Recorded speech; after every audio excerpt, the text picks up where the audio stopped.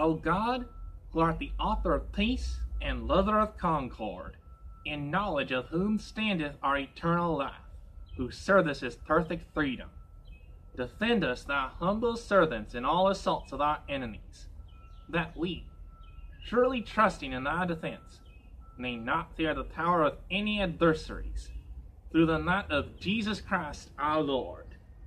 Amen. Amen.